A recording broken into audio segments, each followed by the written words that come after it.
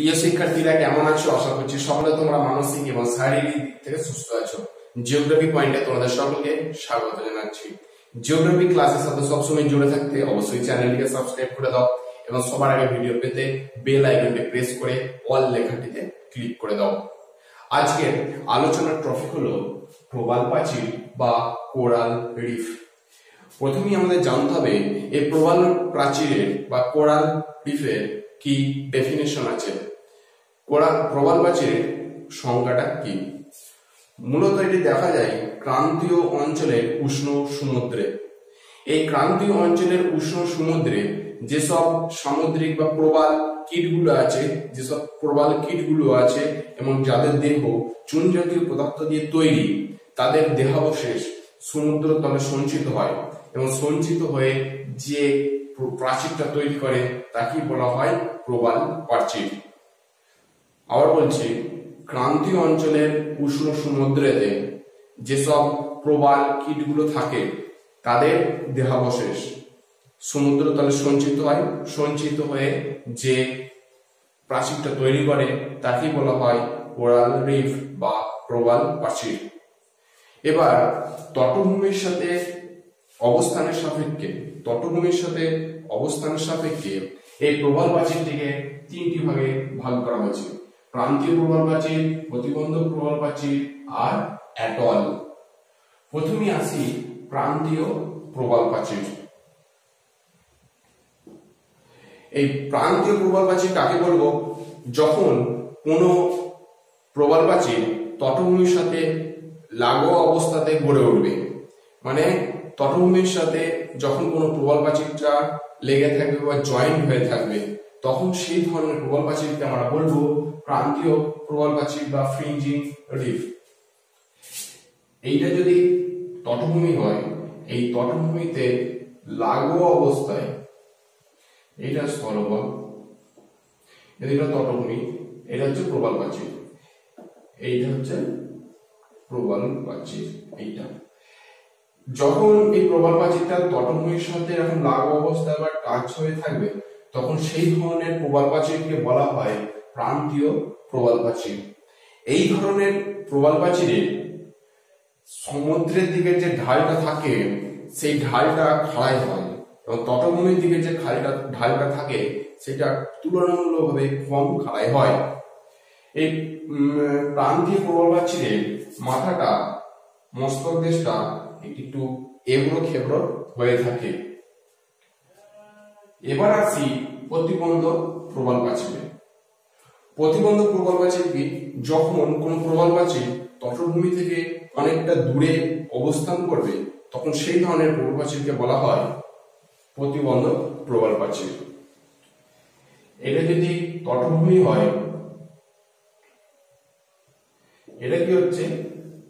এইটা হলো প্রতিবন্ধক প্রবাল প্রাচীর তটভূমি থেকে অনেকটা দূরে অবস্থান করে।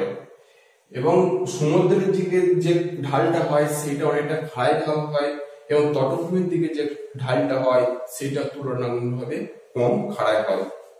এই প্রতিবন্ধক প্রবাল প্রাচীর আর উপকূলের মধ্যে সমুদ্রের জল অবস্থান করে, যাকে বলা হয় লেগুন। প্রতিবন্ধক প্রবল প্রাচীরটা অনেক সময় কি হয় উপ তটভূমিটাকে বা কোনো দ্বীপকে কি হচ্ছে ঘিরে অবস্থান করে।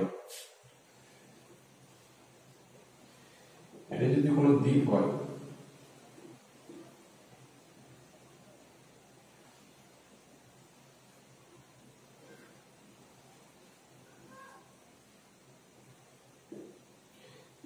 দ্বীপ হয়, এগুলো হচ্ছে প্রবাল প্রাচীর এই প্রবাল প্রাচীরগুলো এরকম ভাবে গোল হয়ে অবস্থান করে।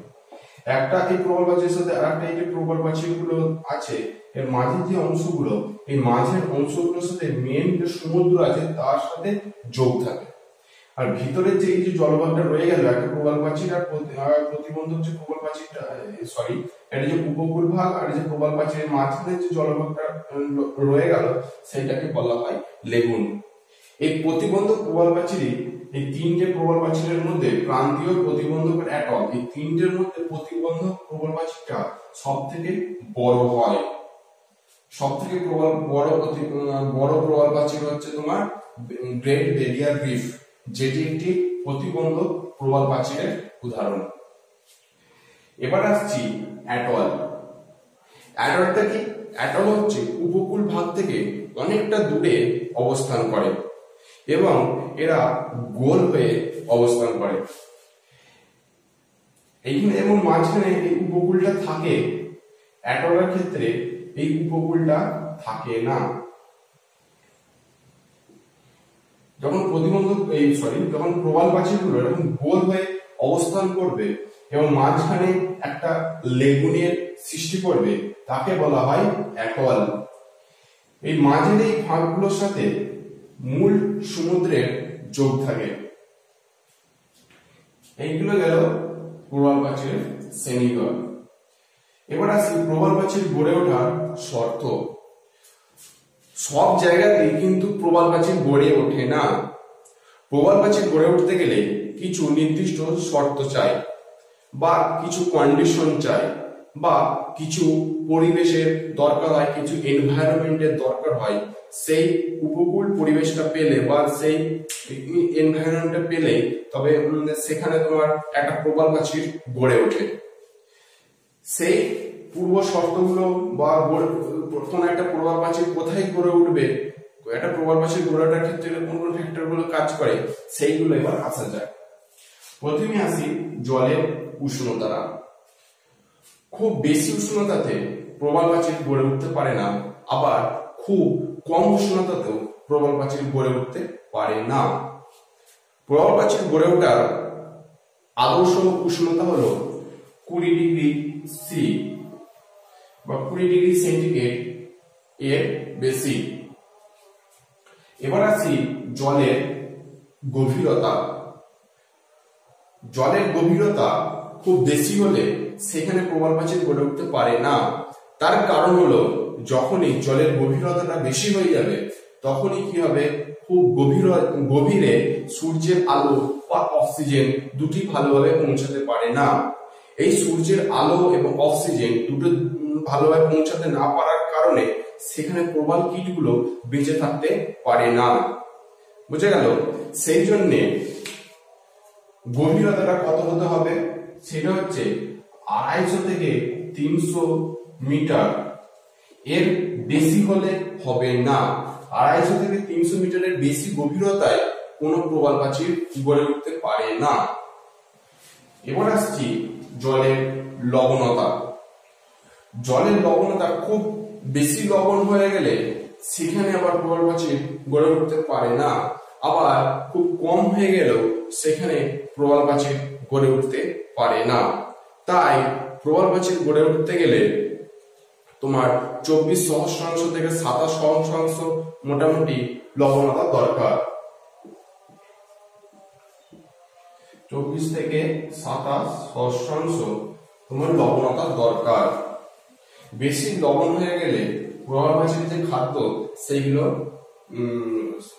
সেটা থাকতে পারে না বা নষ্ট হয়ে যায়। তারপরে আসি পলিমুক্ত জল। পলিমুক্ত, বেশি পলিমুক্ত জল, পলিযুক্ত জল হলে যদি কোনো জলে বেশি পলি থাকে, তাহলে ওই অস্বচ্ছ জলে অক্সিজেন এবং সূর্যালোক দুটোরই অভাব দেবে, অভাব দেখা দেবে। যার ফলে কি হয়? প্রাচীরগুলো ভালোভাবে গড়ে উঠতে পারে না। আবার খুব স্বচ্ছ জল হয়ে গেলে সেখানেও আবার প্রবাল প্রাচীর গড়ে উঠতে পারে না। তাই এই প্রবাল প্রাচীর গড়ে উঠতে গেলে এটা মোটামুটি একটা মাঝামাঝি একটা কন্ডিশনের মাঝামাঝি একটা অবস্থা দরকার হয়। তারপরে আসছি সমুদ্র স্রোত ও সমুদ্র তরঙ্গতে। যেখানে সমুদ্র স্রোত এবং সমুদ্র তরঙ্গগুলো দেখা যায়, সেখানে প্রবাল প্রাচীর গড়াটার পক্ষে আদর্শ। কারণ এই সমুদ্র স্রোত এবং তরঙ্গগুলি প্রবাল প্রাচীরের জন্য তাদের খাদ্য এবং অক্সিজেন সরবরাহ করে থাকে। তারপর আসছি অন্তঃসাগরীয় মঞ্চ।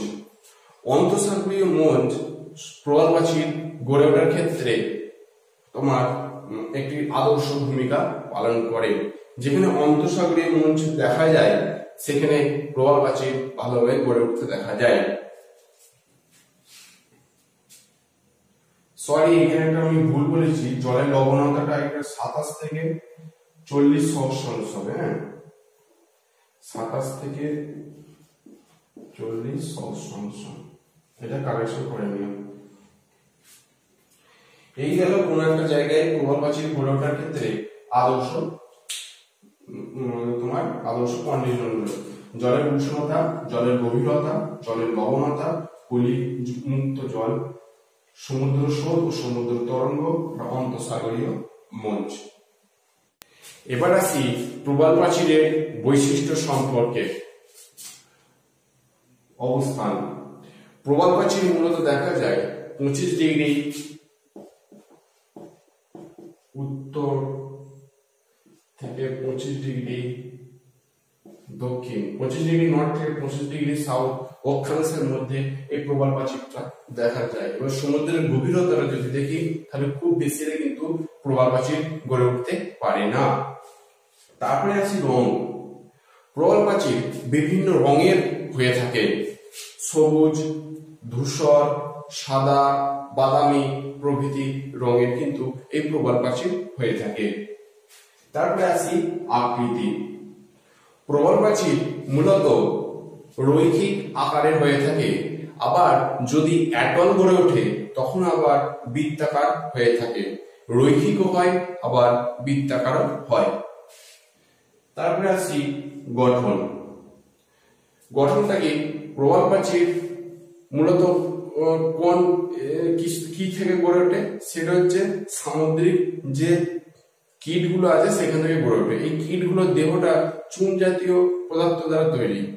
তাই এগুলো দেহাবশেষ থেকে প্রবাল প্রাচীরগুলো গড়ে ওঠে। তাই প্রবাল প্রাচীর মূলত চুনা পাথর ডলোমাইট এইগুলো দ্বারাই গঠিত হয়ে থাকে। তারপরে সমুদ্র পৃষ্ঠের নিচে অবস্থান। প্রবাল কীট সমুদ্র পৃষ্ঠের উপরে বায়ুতে কোনোভাবে বেঁচে থাকতে পারে না।